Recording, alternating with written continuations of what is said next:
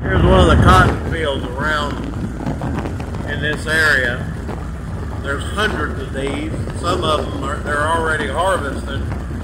Normally they don't do that until after the first frost. But as you can see, that cotton's coming in good.